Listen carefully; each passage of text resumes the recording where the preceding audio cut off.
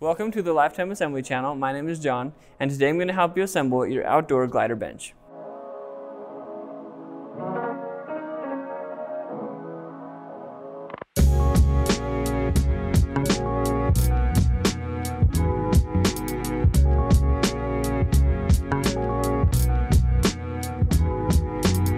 Before we begin, make sure the model number of your bench is listed in the description below. This video follows the steps outlined in your assembly manual that comes with the bench. If you've already begun and need help on a specific step, check the description or comments below for a timestamp associated with each step. Now let's take a look at what's inside the box.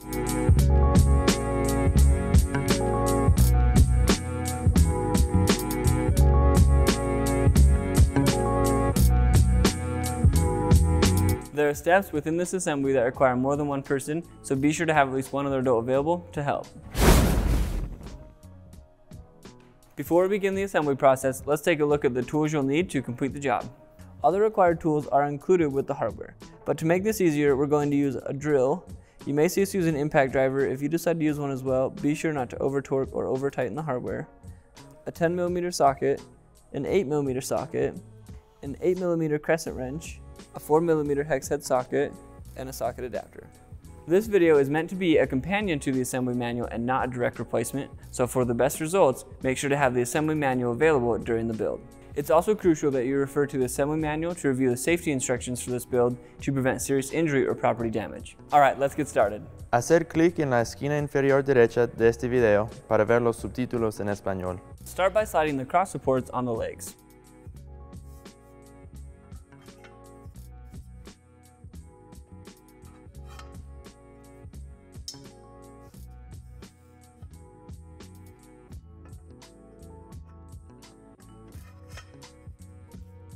Secure the cross supports to the legs with the hardware.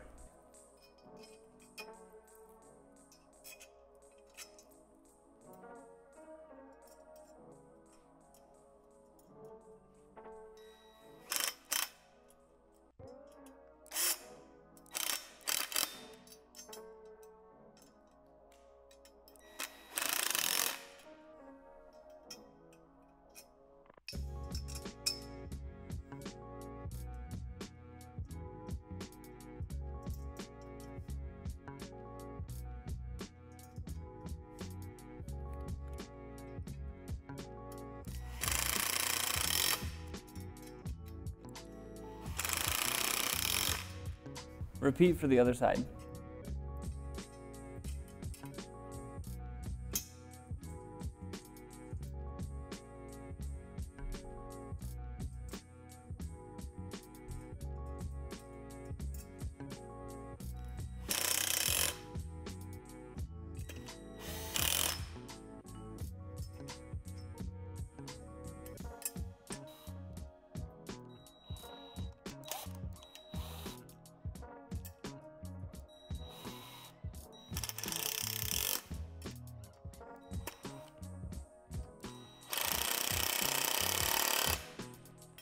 Attach your bearing arms, oriented like this, to the legs.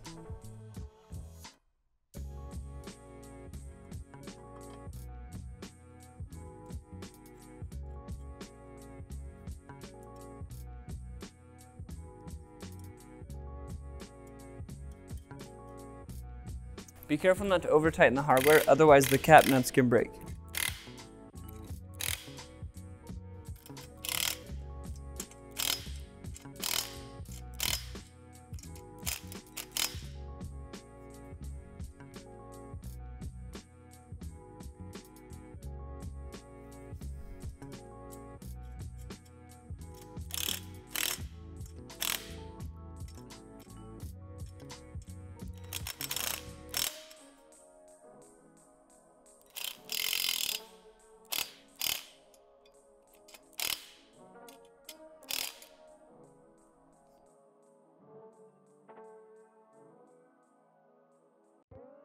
Connect the right arm to the seat panel.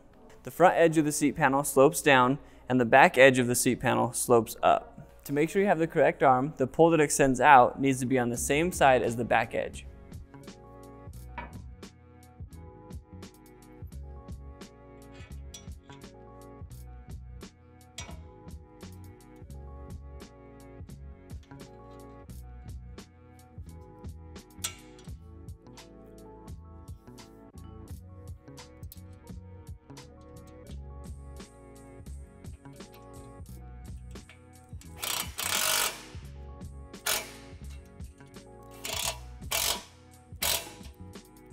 Connect the other arm to the opposite side of the seat panel using the same method as before.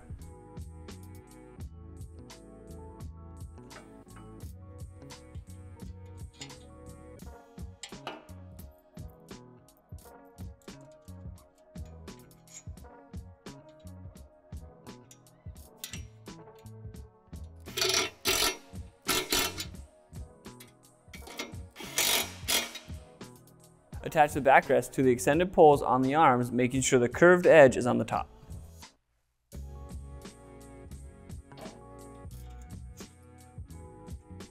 The short bolt will go through the top hole and the long bolt will go through the bottom hole.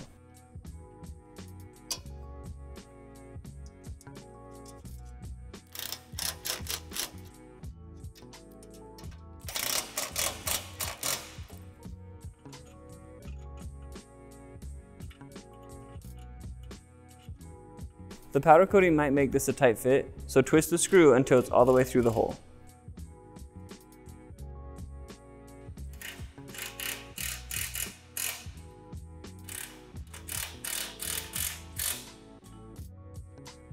Place the seat over the legs and attach the bottom of the arms to the bearing arms.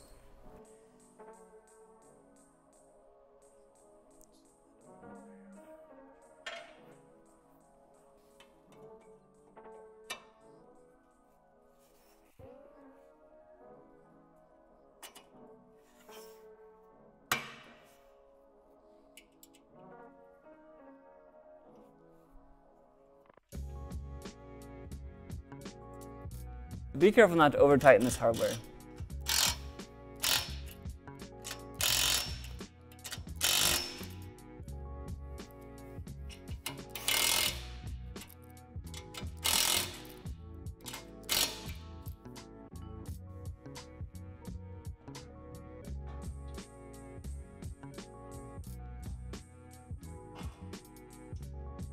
There may be excess powder coating on the bolt, so to avoid cross-threading, start by finger tightening the nut.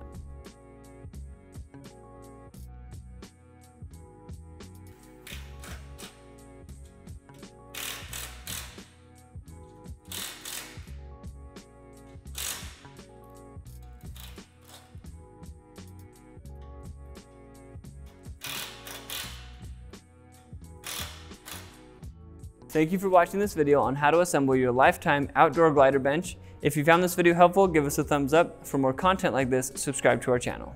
If you have any other questions, feel free to reach out to our customer service team and check out our other awesome products at lifetime.com.